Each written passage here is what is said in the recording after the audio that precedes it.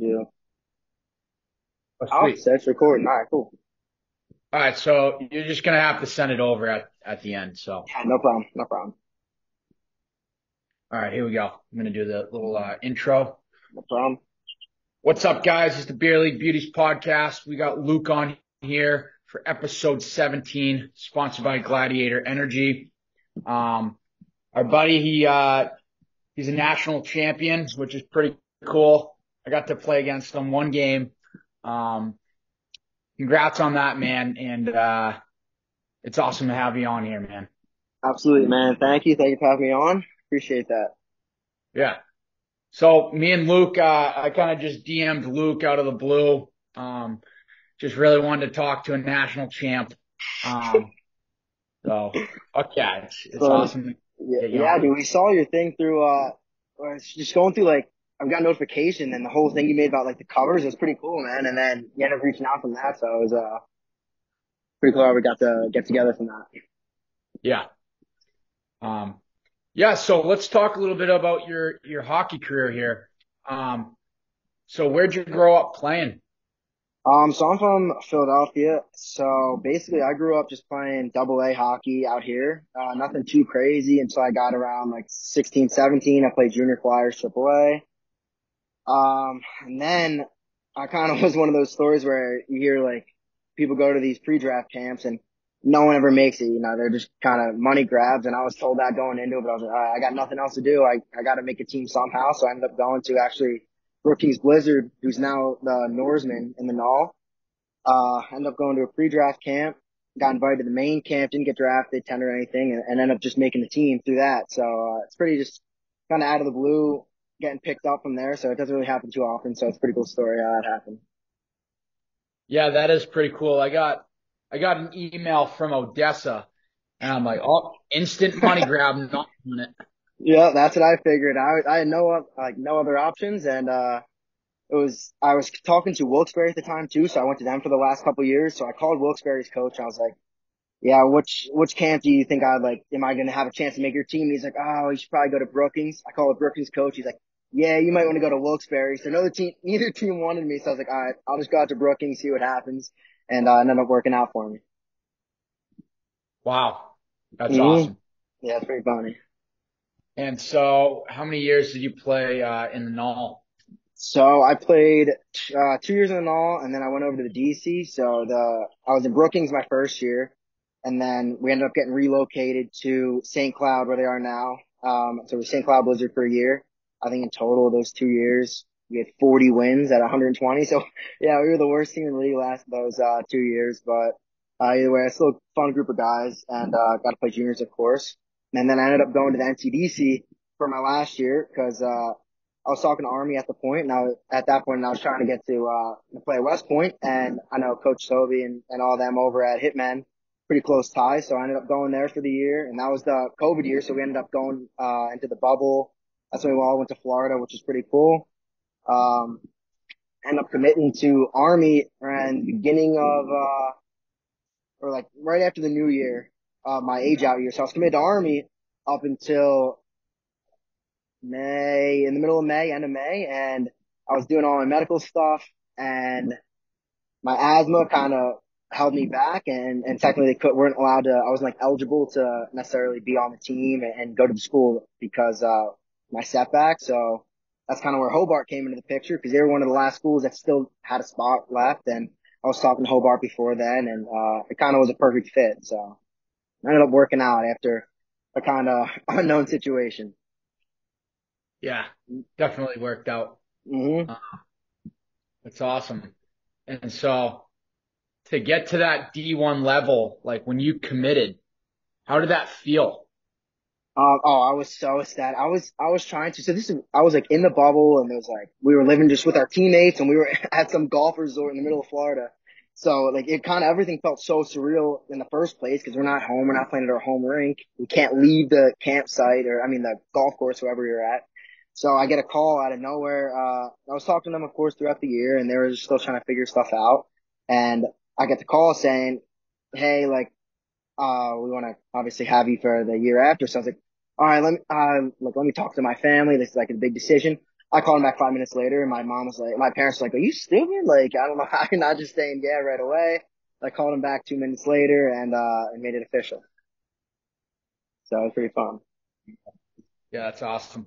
Mm-hmm. Uh, at least you, you know that you could play at the D1 level, but Exactly. you know, Hobart, that is, that's like, you guys could definitely play with, you know, division one teams. So, Yeah, especially this last year. We had a pretty pretty stacked team. wow, yeah. Um, it was some pretty scary hockey when I was playing. I was like, whoa. Yeah, this is uh this is one of the best teams I've heard like we had in a good bit. I mean, we had a pretty deep team too. Like our, our top six or actually our top nine. Oh I don't even say like all of them. Everybody can score at any time. Like the kid that won uh Will Crane who scored our game winner in the national championship. He was playing I think fourth line at the time. Like it doesn't matter who it was. Like we just had so much depth that it didn't matter what time of the game it was or who it was. Uh, someone's going to step up, and that's just kind of the way it went last year. That we just had a ball rolling and, and no one could really stop it. Yeah. Um, what about, did you guys have any guys that were, um, you know, were scratches and stuff? How many of those guys do you have? We had about, I think, four scratches made, uh, mainly throughout the year. Um, some guys, of course, like, cause our team was so good and we were all pretty consistent. Everybody could have been in the lineup. Didn't matter who we really played with. Those four guys were interchangeable throughout the whole year, but we didn't have a super deep team. Uh, compared to my freshman year, we had too many guys compared to stalls. So we had two guys sharing one stall at one point. Um, so last year we actually had a couple open stalls, but ended up working out because even though we only had four scratches, everybody was pushing each other. Everybody wanted to get in the lineup. So it was a pretty competitive environment we had. Mm-hmm. Um, so in practice for you, w- was it a dogfight or were you guys kind of controlled and, um, I think most people, especially the freshmen, I feel like everybody knew coming in that no spot was guaranteed. No matter if you were junior, senior, we had, even my freshman year, we had seniors getting scratched every other game that had played all four years. So like, coach doesn't really care kind of what year you are. He just wants to win. He wants to put the best guys out there. They're going to help us win the game. And, and he knows that whoever he puts out there is going to kind of come through and, and, uh, kind of do it for us. Of course, like in practice, we had, we usually do like a lot of battle drills. So that's kind of where we see where we fit against each other and it's always pushing each other to get better. And obviously like most teams do. Um, but it was, it was kind of a dogfight almost every day. No matter what drill we were doing, everybody wanted to play at the end of the weekend. So, uh, it definitely kept us on our toes. wow.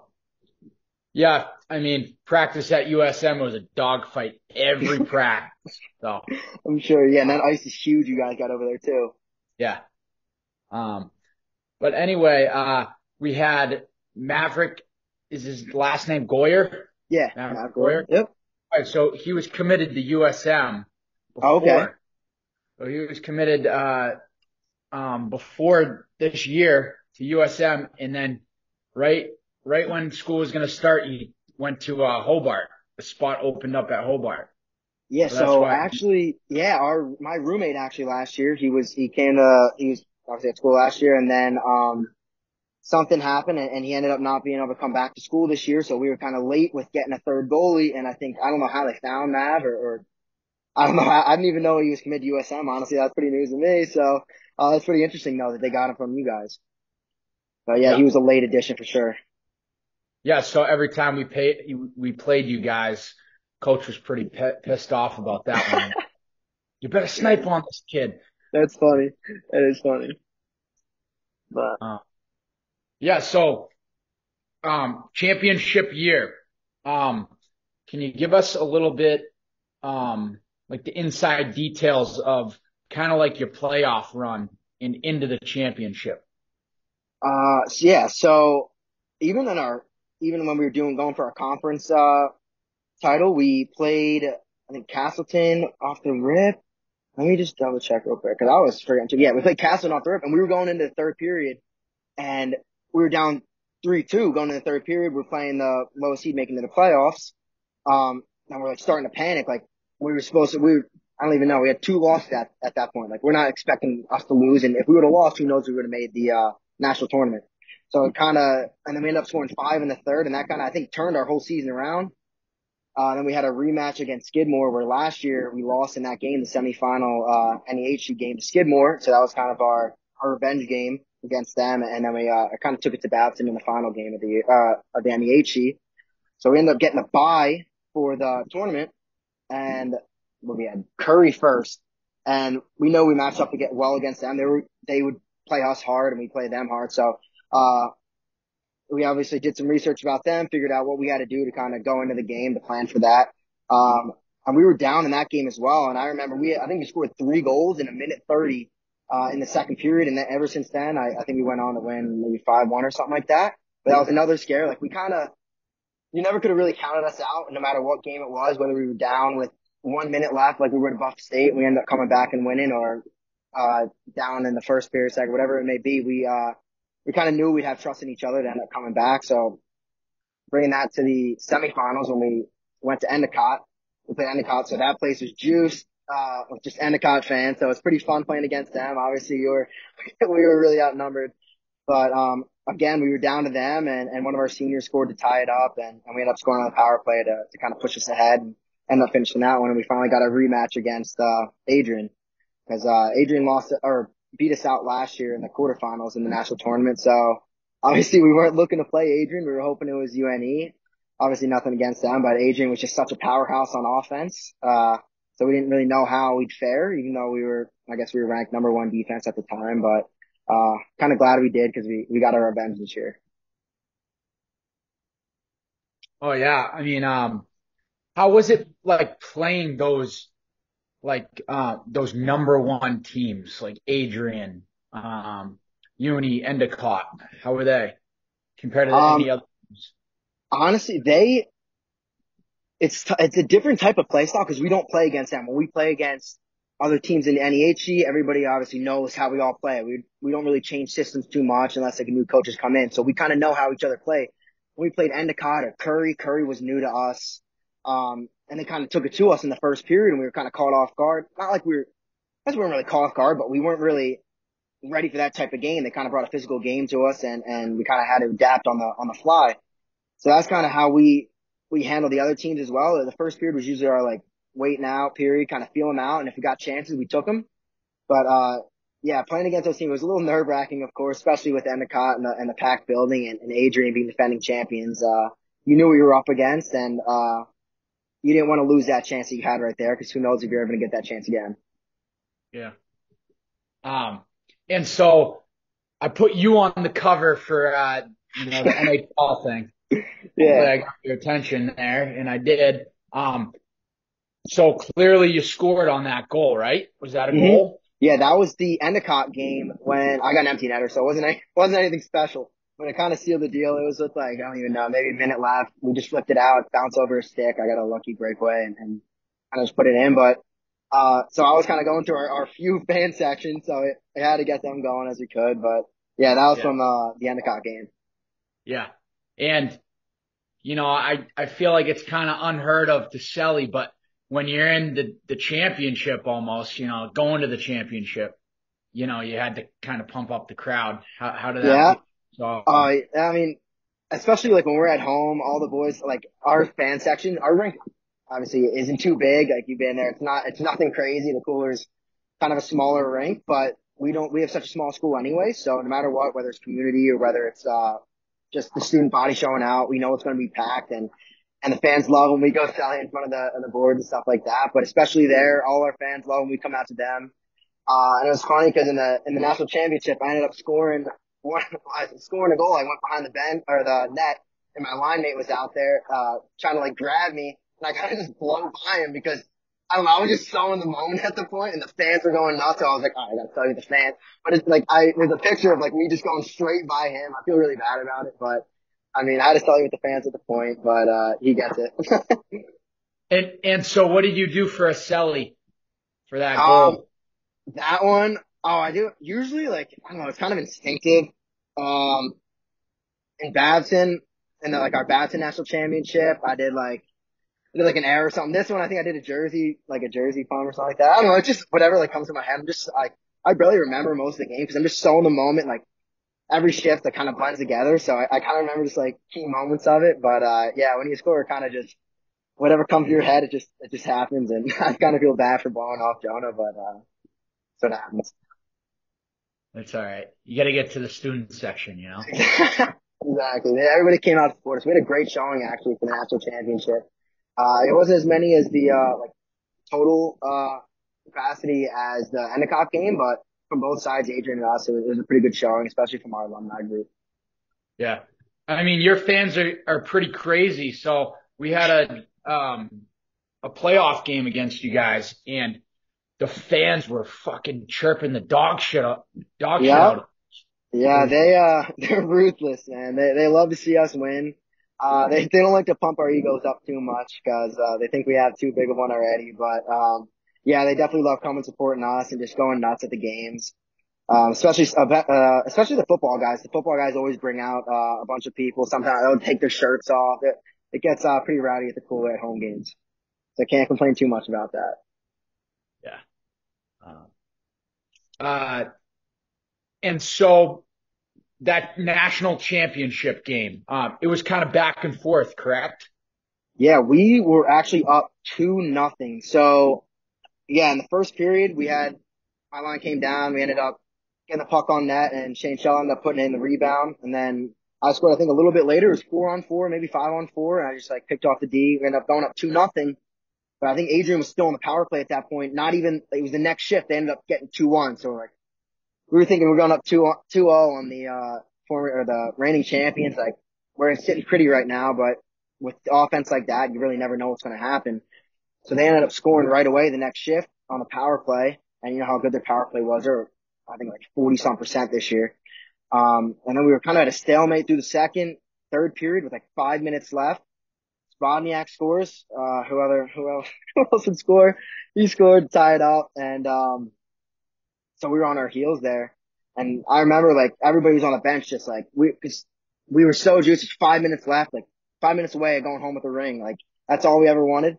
And then they end up talking that and, and kind of, now it shook us up a bit and, and we were kind of on our heels. So we were just saying like, get through the end of this period and, and we'll be able to like restart and, and kind of get our mojo back on into overtime.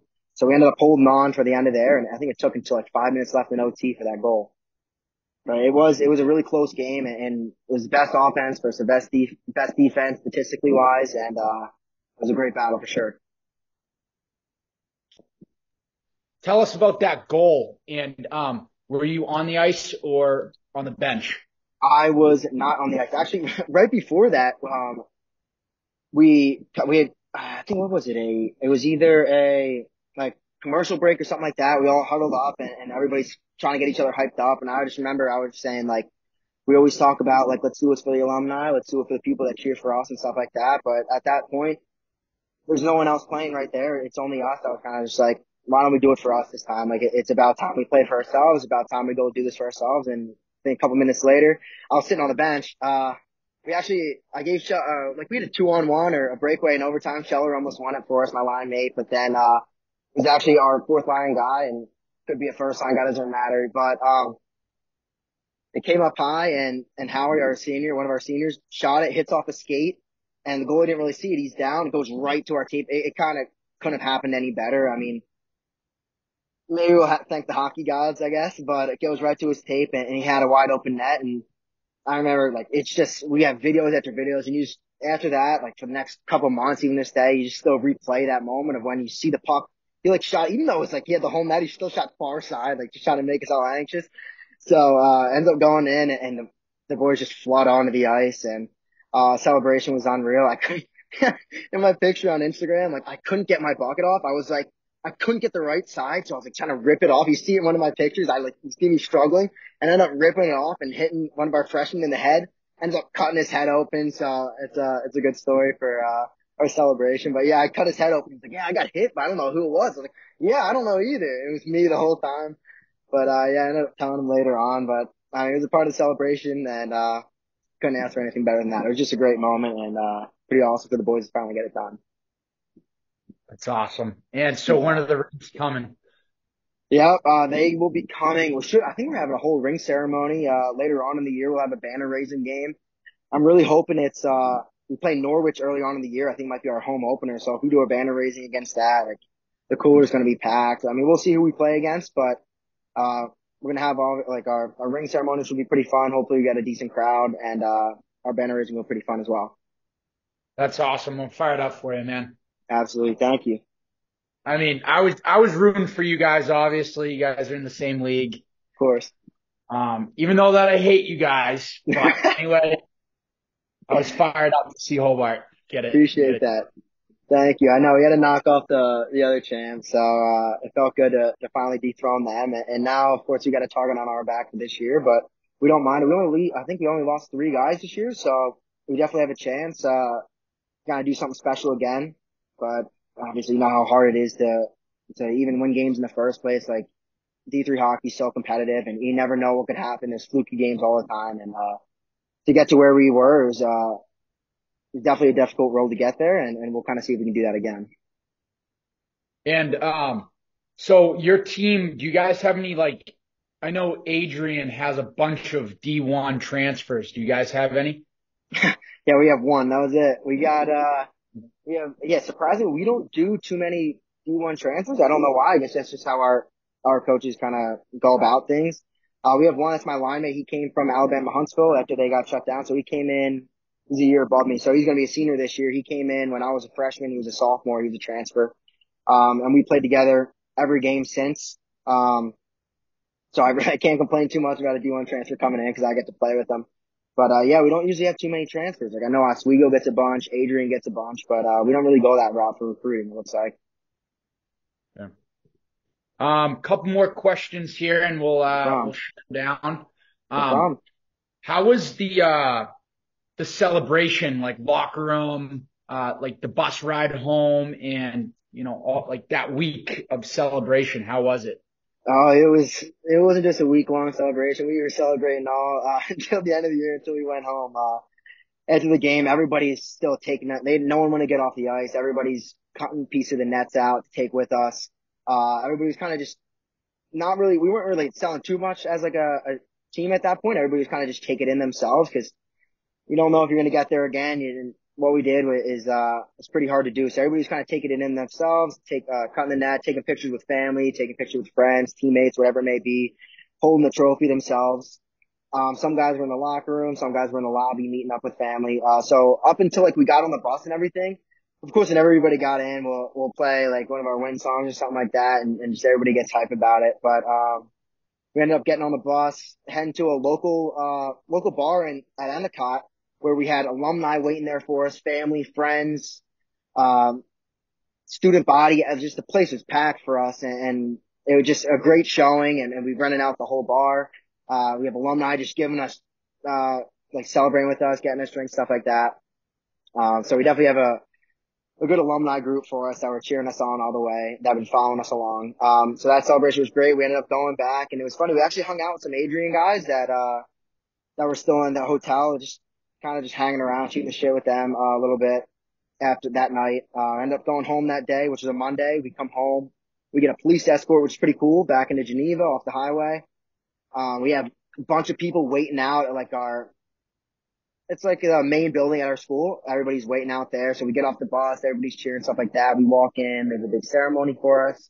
Then we end up throwing a party at like our, our team hockey house and it was a Monday night, but no one really cared. We won a national championship. So it was packed. We had a great night and it kind of held on for, I don't think people didn't, we didn't go to class until like Thursday, Friday, maybe if people went to class. So we kind of took the week off and our teachers, professors understood that, uh, kind of what we were going through at that point. So, but it carried through until the end of the year. We, we still talk about it. We still bring our trophy around to whatever party we had. Remember, we just bring it out to eat. We bring it to parties and people are like, you're not going to like give that in. Like, you guys going to carry that wherever you go. And we're like, yeah, we're gonna carry it wherever you go. We won this, and, and we deserve to carry it. So it's pretty cool. Fuck yeah, dude. Yeah, that's cool. awesome. Um, definitely after this podcast, I've I've had some great people on here, and this episode by far is is my favorite one hearing about Appreciate it. you. Thank you. This is awesome, Luke. Yeah, um, had a blast, man. Um, so one more question. Uh, what's your future in hockey? And uh, do you have any advice for you know younger hockey players? Um, so my plan, I honestly don't really have too big of a plan. I'm gonna kind of see how next two years go. Like personally, I had a pretty good year this year with some recognition. Um, we'll kind of see how junior senior year goes. Um, I'm kind of looking if anything I'll, to play pro. I'll end up going to Europe. Um, never really been to Europe, so I'm looking to play hockey over there. I'm Italian, so I'd love to play in Italy, see if that can uh, make that come true. But kind of just seeing how things go and uh, any advice I'd say is kind of take every chance you get. Like I said, like I I made an all team from a pre-draft camp. Like you never know as long as you kind of give something a shot, you're going to get a chance. And once you get a chance, you have to kind of take that opportunity. So I, I turned a pre-draft camp into a division one commit that, yeah, it didn't end up working out, but I ended up in another great spot and ended up winning a national championship. So some things happen for a reason. If you're not meant to go one place, another place is another home for you. So uh, everything's going to end up working out. It kind of seemed like for me. So. Wow, dude. Great, great advice, man. Appreciate you. Thank you. Well, thanks for having me here, man. Of course, uh, man. Thank you so much. Yeah, I, I, wish you the best of luck next year and kick some USM ass, baby. I don't know. of course, man. You too. You good luck as well. Yeah, thanks, bro. Um, yep. Episode cool, 17. Man. Duns, Dunsky. Um, yeah, you, yeah, man. Um, you can send that over. I don't know how you're gonna, how you send right. that over. If you, right. I can send you my number. Um, yeah, what's easiest? Is it easier just to email it or here, let me just pause this thing.